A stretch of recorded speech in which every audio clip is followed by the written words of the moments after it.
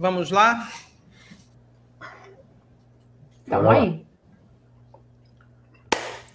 Já estamos ao vivo no LinkedIn e no YouTube. Seja muito bem-vindo, seja muito bem-vinda. Esse é o Boteco do Comex, que ninguém achou que daria um segundo episódio, já está no sétimo. E a gente vai fazer o Boteco número 100 ao vivo em algum lugar do Brasil, a gente não faz ideia. Você já está convidado, mas a gente não tem nem ideia onde vai ser. Hoje comigo, Roberta, a grande botequeira da, do Oeste, Jonas Vieira, segunda Roberto, o mais erudito de todos nós, e o nosso convidado, Guaciro Filho, que vai falar desse negócio louco que o Banco do Brasil, que o Banco, Banco Central. O Banco Central do Brasil faturou bilhões e ninguém sabia para ir lá buscar a sua parte. Tudo bem, Guaciro? Tudo bem, Carlos. Obrigado pelo convite. Roberta, Jonas, um prazer estar aqui com vocês. Tudo a bem contigo, agra... Roberto? A gente te agra... Tudo em paz, Carlos. Oi, Jonas, como vai? Tudo bem? Oi, Guaciro, Oi, como é que você está? Tudo bem? Tudo bem. Assim, tudo bastante bem espontâneo. Nossa, que bom estar aqui com vocês. Há quanto tempo, né? Obrigada, Guaciro, viu? Obrigada mesmo. O, o Guaciro, gente, quando eu falo do oráculo da Advanced, a grande cabeça, como vocês podem observar pela imagem dele, né? A grande cabeça, o grande cara por trás de tudo isso, o grande oráculo é o Guaciro. É Guaciro Filho. Obrigadão, Vá. Valeu. Jonas, é contigo a bola. É, eu estou muito feliz com esse assunto, além dele ser do momento, né? É ser muito interessante. É algo assim, a parte de câmbio realmente não é o meu forte, então acho que a gente tem que começar do básico. Guaciro, o que, que são as reservas cambiais de um país? As reservas cambiais, elas é, é, é, a conta de moeda estrangeira que o, que o Brasil tem. Na verdade, toda a economia deveria ter. Né? Ela serve como uma espécie de, de colchão para qualquer banco central. É, isso é Mas, dinheiro tipo assim, físico? É, é, é isso que eu falar. É, é tá em algum espaço. lugar, né? Tá em algum lugar, tipo o, o, tio Patinhas lá com aquelas moedas todas, ou não? Ou é só dinheiro no sistema? O, o Banco Central ele, ele toma em títulos, em T-bonds americanos, fica tudo isso em título que antigamente tinha que ser emitido né, em moeda ou ter que ter o valor equivalente em ouro, né? Exatamente, exatamente. Agora são esses títulos e, e ele tem que ficar toda instante se posicionando no mercado porque essa taxa ela é indexada a juros. Então não adianta se o dólar subir, o juros também está oscilando. Então ele tem que ficar toda hora demarcando essas posições durante o mês para não, não perder esse, esse equilíbrio, essa balança. Mas, a, por exemplo, o dólar, a taxa de juros que influencia o dólar é a taxa de juros dos Estados Unidos ou é a nossa taxa de juros brasileira porque o dinheiro está aqui? A nossa taxa de, de, dívida. Sabe essa, essa dívida pública que, que o governo oferta para os bancos? É essa taxa. Ok. Ah, entendi. Tá bom, entendi. Mas, mas assim, tipo, reservas cambiais, assim, é, é tipo dinheiro que o Banco Central tem guardado para gastar depois? Exatamente. E, e, aí ele guarda esse dinheiro, olha, eu fazendo as perguntas como né, tipo, ai, aquela pessoa desavisada. Mas aí ele guarda esse dinheiro, Guaciro, e, e aí ele queima como? Como que ele gasta esse dinheiro? Banco Central? Ele deixa, ele deixa essa, essa reserva magiada numa, numa conta financeira, uma conta de depósito, né, em, em títulos. À medida que, uh, como a gente tem essa taxa que ela margeia o mercado, a PETAX, que dá esse, esse, parâmetro da valorização do real frente ao dólar, ele, ele usa isso como, como um termômetro. Então, à medida que essa taxa descola muito, ela dá algum desencaixe, ele tem justamente que entrar no mercado vendendo ou comprando esses, esses contratos, ou ele oferta mais dólares, quando ele oferta, ele vende títulos no mercado, e esses títulos... São os, são os leilões, quando ele oferta dinheiro? São os assim? leilões, as operações tá. de swap, que, que nada mais é do que uma operação é, de hedge, né? É uma, é uma proteção cambial, não deixa de ser o governo protegendo é, a, a, valorização ou desvalorização do, do, dólar frente ao real.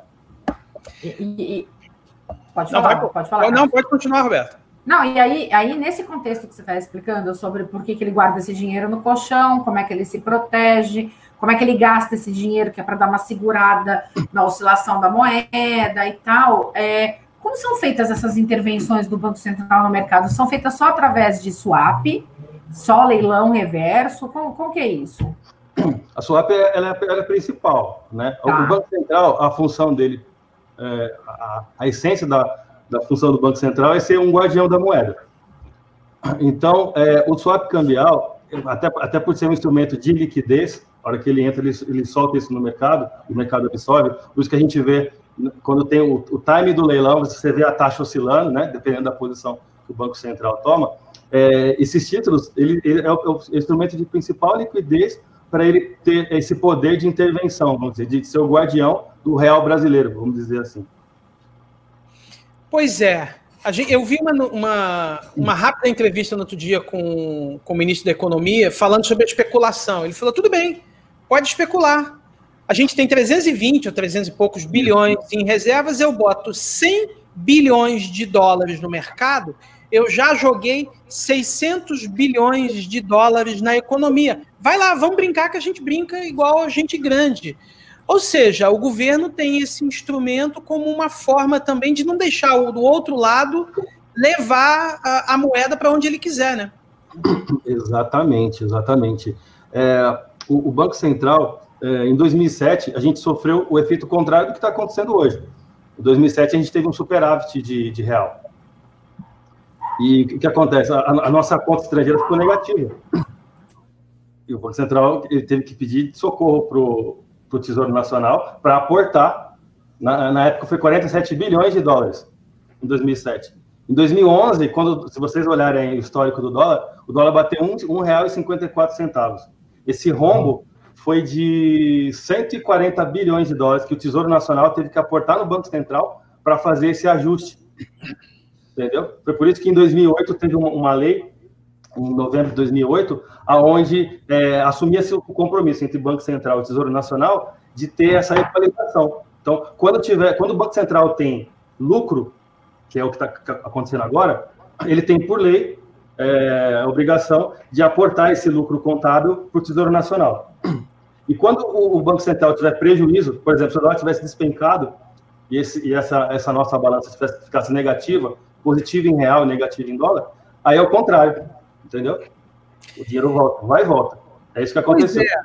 Vamos tacar fogo no parquinho, então, porque a nossa conversa aqui foi o que a gente escutou.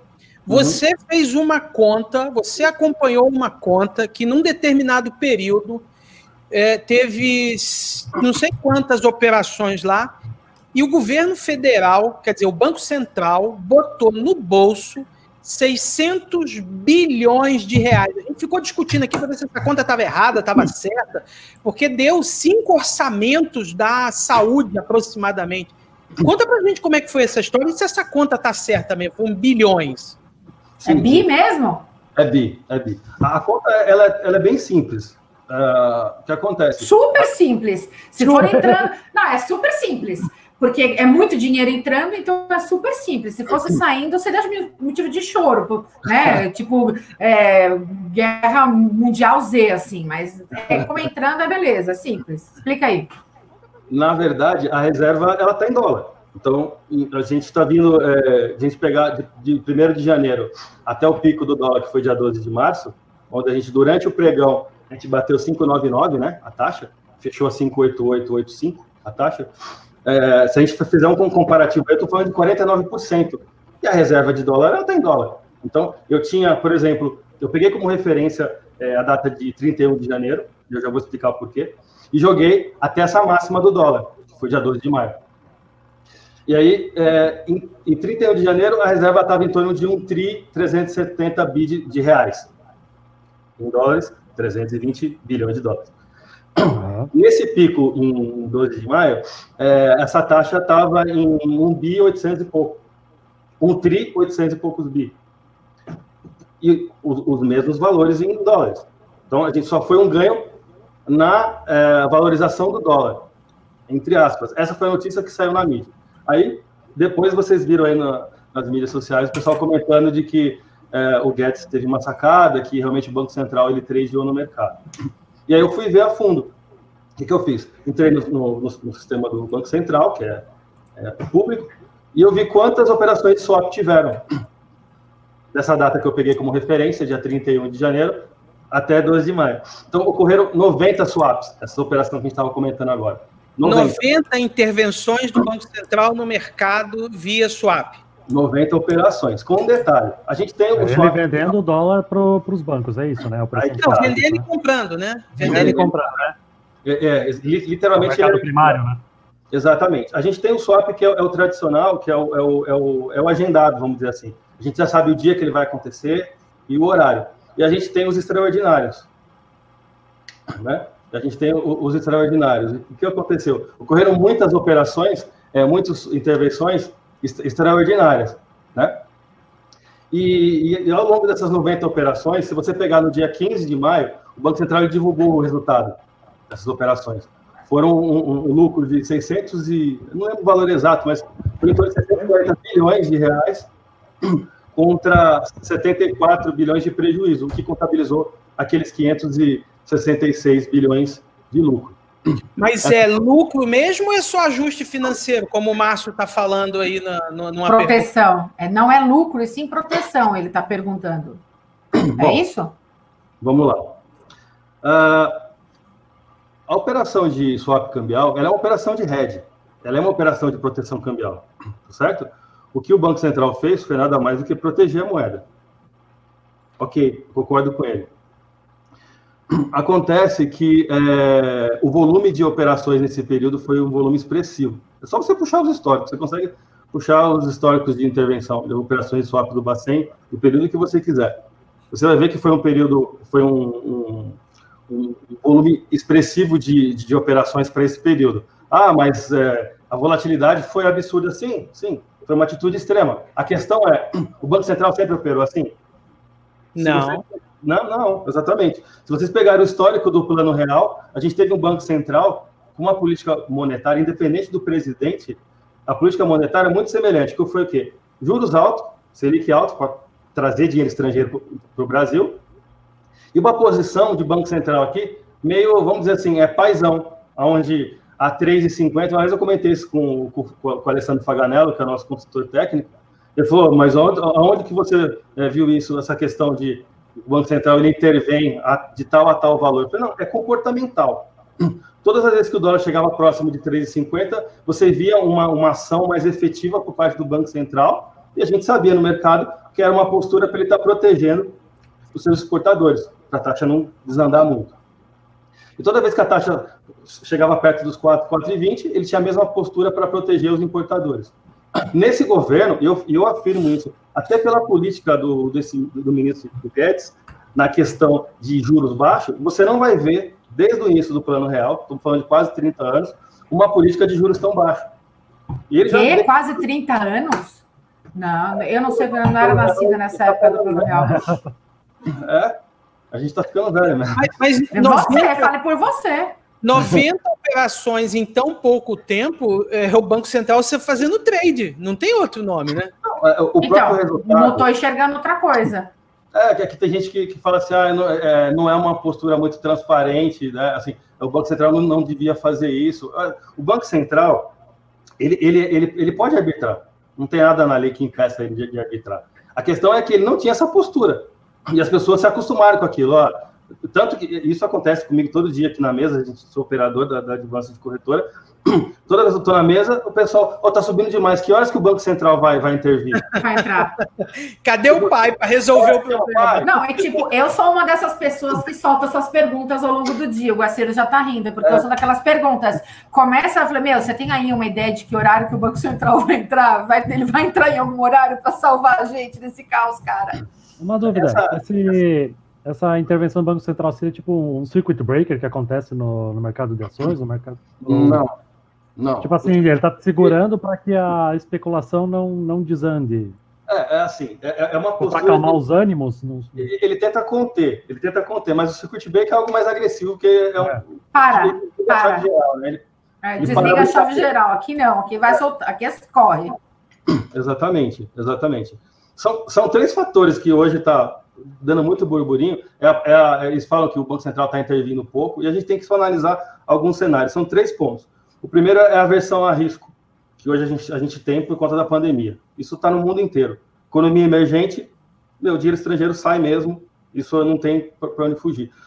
O segundo ponto é o nosso grau de investimento. A gente perdeu o nosso grau de investimento. né? E um pouco antes da, da pandemia, no finalzinho do ano passado para a virada desse ano, a gente estava muito próximo de, de voltar para a nossa nota, a BB, BBB-, né? Só para vocês terem uma ideia, a nota do Brasil hoje é a BB-, a gente estava com, até anotei aqui para passar para vocês, 123 pontos. Tá? A média dos países que tem a mesma nota que a gente está em 195. Uau, tá longe, hein? E para a gente subir para BB-, que é a que a gente tinha antes, é 115 pontos. Então a gente estava muito próximo. Logo depois que, que, foi aprovada a reforma da Previdência e começou essa discussão para votação da reforma fiscal, é, as agências de risco lá fora, que é a FIX, a Moody e a Standard Poor's, elas já estavam colocando isso como certo, era questão de tempo. Então, Pouco tempo, porque a gente estava vindo numa, numa questão de férias, né, de férias coletivas, Estava uhum. todo, todo mundo imaginando que final de fevereiro, começo de março, pelo menos a primeira a primeira fase do bloco da fiscal, né, da reforma fiscal tributária, que ela viria, né, Guaciro? E, ela, e aí veio a pandemia. Só isso.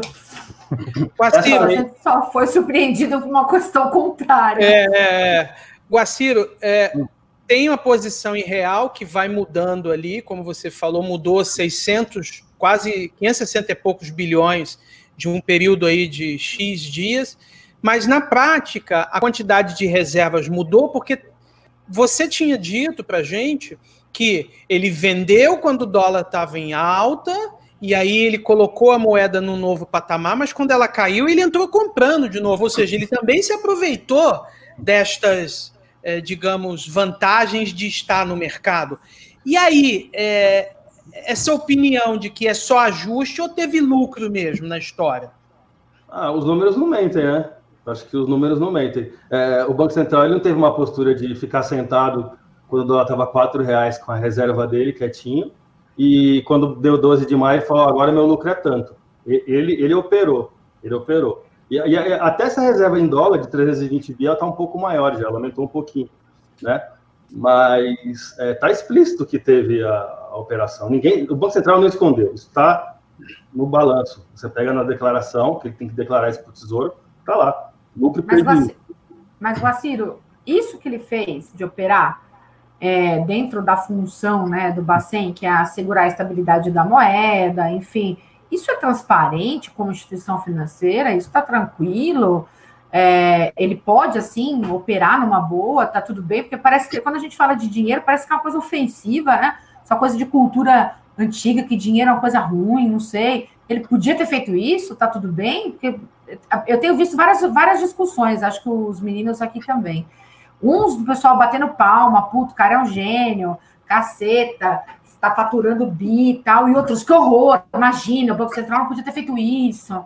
E Até aí, porque podia... se a minha conta estiver errada, deu cinco orçamentos da, da, da saúde. saúde. aproximadamente, é. né?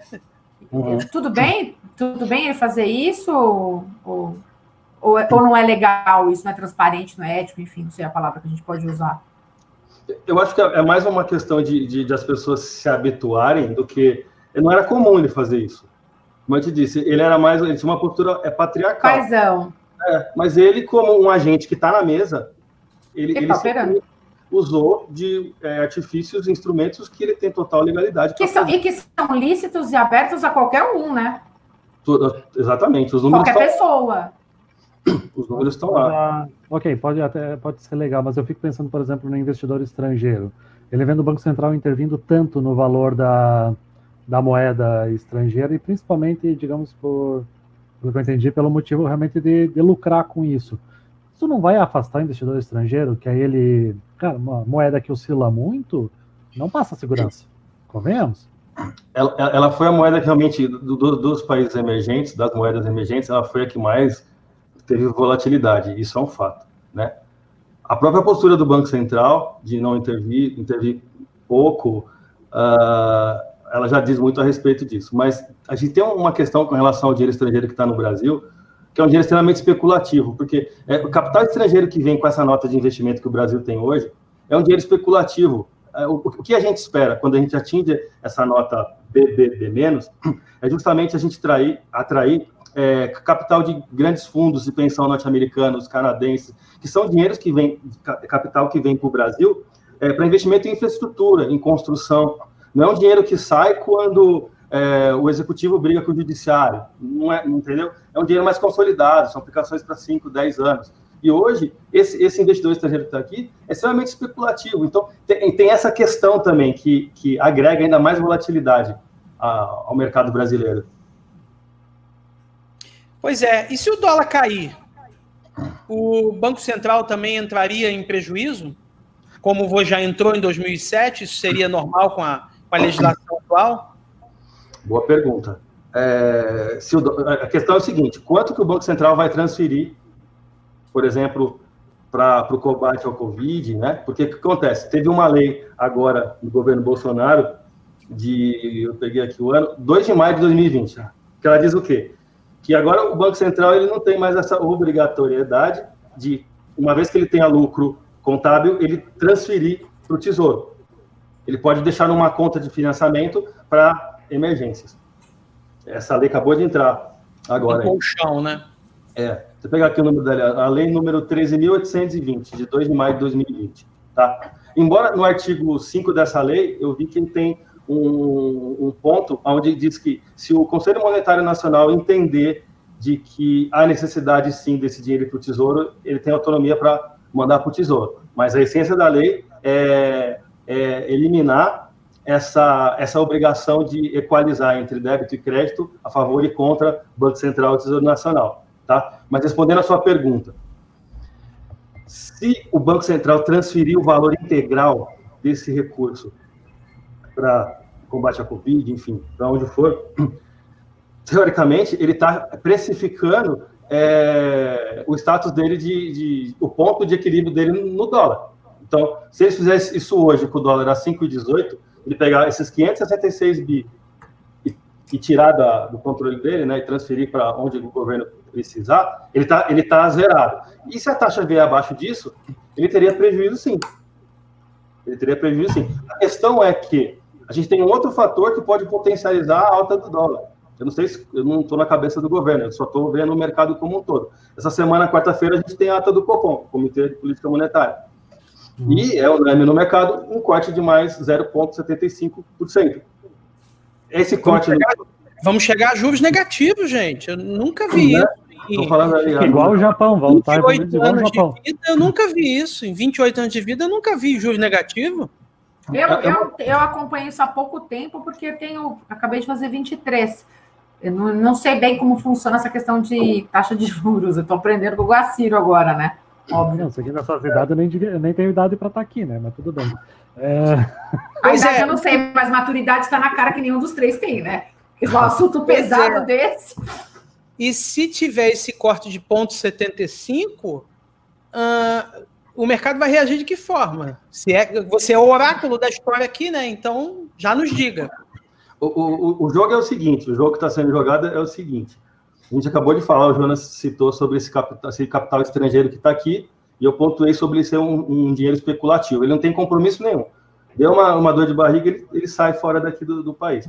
A questão é a seguinte: se você é um investidor estrangeiro tá, e está aplicado aqui no Brasil a um juros de 3,5% e pode, esses juros pode cair, vamos falar aí, vai abaixo de, de 2%. É negócio para você, sendo que você pode ter esse dinheiro aplicado em, em títulos mais seguros, com a mesma rentabilidade? Claro que não. Então, isso. A gente está chegando no momento em que a inflação baixa vai nos atrapalhar. Nesse sentido, sim. Mas, mas o governo está com outra cabeça. O governo não está preocupado com isso. Na cabeça tá dele. Preocupado com o quê, na tua opinião? Na cabeça dele, ele, ele, ele abaixando os juros, ele, por um lado, ele diminui os juros que ele paga na dívida externa. Né? Só para mim, só tem, essa, só tem essa explicação. É uma economia absurda. E, por outro lado, ele, ele obriga a, a, a, o fomento a incentivar a, a, indústria, a economia interna. Quando, quando o industrial hoje ele fala assim, cara, peraí, não está compensando essa taxa mais eu importar da China. Ou manter o dinheiro dele em títulos públicos que não vai pagar nada, como ele gostaria. Então, é botar esse dinheiro na economia girando. É uma estratégia. É, é, é o que eu te falando. E é, é pensamento de gente grande, que saiu da adolescência, né? Deixa é, exatamente. Que saiu uhum. do, do objetivo, o papai vai cuidar de mim agora, para coisa mais, mais solta, outra brinca, outro tipo de brincadeira, né? É uma política, é, é, um, é um cenário. Como, como o mercado vai reagir a isso, a gente, a gente só fica mensurando. O que eu sei é que a juros abaixo do que está, não vai ser nem um pouco atraente para esse capital especulativo que a gente tem aqui hoje. E se o dinheiro sai, a taxa sobe. Pera, mas os juros do jeito que está vai voltar a valer a pena a, a manter o dinheiro na poupança. Você está entendendo? É, é mas, mas, talvez seja, mas talvez seja esse o, um dos grandes objetivos, né? Exatamente, é uma, é uma visão. A gente não posso falar que é, é certo ou errado, é algo diferente. Ponto. Pois é, está chegando no nosso fim aqui de 30 minutos. Eu tenho a última pergunta de um milhão de dólares que ninguém combinou. Na sua opinião, foi ou não foi lucro? O Banco Central botou esse dinheiro no bolso. Se fosse uma empresa e pudesse distribuir lucros, teria dividendos a distribuir? Ou foi só coisa contábil lá? Eu sou suspeito porque eu, sou operador, cara. Eu sou trader. Não, na hora que eu vi esse é. balanço aqui, eu quase pulei aqui da cadeira. Achei a coisa mais linda. Falei, isso é. Porque o, as economias, eles são neoliberalistas até mexer com o bolso deles. Eu vi muito isso na, em 2007, na crise das hipotecas americanas. Os Estados Unidos, que sempre defendeu o neoliberalismo, eu vi ele tirar dinheiro do bolso para socorrer multinacional, para socorrer grandes bancos estatais, enfim, federais. E aí, e o neoliberalismo, né? Então, Até a é, página 13, né? Até a é, página 13. Peraí, né? A operação, eu achei, assim, foi uma baita postura do governo, do, do, ministro, né, do ministério como um todo. E é, é algo a ser observado, é, é, é, algo novo. A gente tem que ver o resultado disso, né? A gente está aqui para julgar o, o, trabalho deles. assim. Mas, Guaciro, guardadas as devidas proporções, obviamente, né? E também é outra pergunta que não está combinada, né? Uhum. Guardadas as devidas proporções, que a gente gosta, a gente é desses, né? A gente uhum. gosta de fazer essas coisas assim, de não combinar. Certo. Esse tipo de operação que ele fez é uma operação acessível para uma empresa? Uma empresa poderia fazer isso, teria acesso a fazer isso? Sim, sim. A, a, a operação de swap cambial nada mais é do que um hedge. Um hedge. Né? Que é uma operação de proteção cambial, onde hoje o cliente aí com 20 mil dólares, 30 mil dólares, ele, ele pode fazer um hedge. Nós fazemos na, na, na nossa corretora. Ah, um graças a Deus. É. E aí vem a pergunta que depois acho que pode ficar para um outro boteco, porque a gente chegou nos 30 minutos, né? É, o que está disponível para um cliente, lógico, guardado as devidas proporções, acho que a gente não chega no BI, né? Não uhum. chega nisso, mas a trava, o head, essa, é, é, o, que, o que dá para fazer para brincar como se. para seguir a brincadeira do Banco Central, para surfar nessa ondinha, né? Acho que fica aí uma, uma outra pergunta, uma outra, um outro bate-papo da gente, porque a gente vê, vê a operação do Bacen. Eu lembro que quando eu mandei o áudio para os meninos no grupo, que a gente tem um grupo secreto, né, que acabei de revelar, a gente tem um grupo secreto. E aí eu mandei para eles o áudio, eles, não, peraí, é bi não é possível, ele falou errado. É, escuta, escuta de novo o áudio. Não, gente, é bi. E aí, para a gente que é uma coisa assim linda de ver o banco faturar isso aí, é uma coisa que, lógico, a gente não vê bi né, com o cliente, mas vê o dia inteiro. E aí é legal pensar em, na diferença de trava ou de rede, porque as pessoas têm uma ideia de que trava e rede é a mesma coisa. É. E não é bem assim. Tem, é tem umas diferenças entre uma coisa e outra. Sim. É um bom tema para um próximo boteco. É um bom tema para o próximo boteco. Pois é, mas, esse, mas para entender esse, esse próximo boteco tem que beber muita cachaça, porque isso é confuso, né? Não, não é. é. É assim, ó. Embora a gente dê o nome para tudo que tem a ver com proteção de rede, nem tudo tem um objetivo de rede. Às vezes você tem outros objetivos, quer fazer fluxo de caixa, você quer ter previsibilidade sobre a moeda dolarizada, o que, que você quer? Então as pessoas falam, querem um RED. Tá bom, mas explica por quê. Daí, quando ela explica o porquê, você sabe, não, não, peraí, você não quer rede, você quer trava, você quer outra coisa. Mas Verdade. existem instrumentos, quer dizer, o que a gente vê muito, trazendo um pouco dessa, desse case do Bacen para a realidade, né? O que a gente vê muito são as empresas reclamando é, de volatilidade da moeda, mas sempre muito suscetível ao dia de hoje, né? Ao que será o dia de amanhã, o que será a próxima hora. E você sabe que você tem instrumento que você consegue fazer essa jogada. Então, eu acho que esse é o ponto. De jogada, quando eu falo aqui, não é jogada de licitude, de esquema, é uma jogada possível, né? De, de ter pre, profissional, de ter, ter previsibilidade sobre moeda e acertar o, o alvo que você está buscando. É, e a moeda bizarro é, muito perigoso. Bizarro né? é, uma, é um projeto de lei na, no Congresso Nacional para travar o dólar para importar. Ah, nem fala, bizarro. 2019. Bizarro. É, isso aí é bizarro, porque bizarro. Qual o critério, né? E para exportação vai e valer quê, né? E para quê? Tal. Deixa o mercado flutuar e Não, mas a deixa a gente brincar em outro nível, deixa brincar em outro nível, né? Todo tipo de intervenção para mim nesse sentido é sempre muito muito ruim. Gente, acabou. Muito obrigado, Guaciro. Caramba, foi rápido hoje, hein? Foi rápido, hein? Foi bem rápido. Gente, o Guaciro tá no LinkedIn e tá no Instagram também, tá, gente? Só para vocês saberem, viu? Ele também tá no. Ele não colocou o Instagram dele aí. Se você quiser falar seu Instagram, Gua. Ah, tá. Ah, tá, é... não sei. Não sei. gente, mas com esse nome, Guaciro Filho, eu acho que não deve ter um monte de Guaciro Filho no Instagram, né? Acho que dá para procurar ele lá. E nós temos o, o Instagram do Boteco, que ninguém publica nada, mas está lá. Boteco do Comex no Instagram. E os nossos aqui, Comex Blog, o Jonas Vieira e Roberta Folgueral. Beleza, meus amigos? Muito obrigado, Roberta. Muito obrigado, Jonas. Muito obrigado, Guaciro. Segunda-feira que vem, às 13h30, temos mais um Boteco do Comex, sempre com fogo no parquinho, porque aqui ninguém quer dar moleza para nada. Um abraço é para você. Obrigada, gente. Boa semana. Obrigada. Até mais. Boa semana, tudo bom. Até a próxima.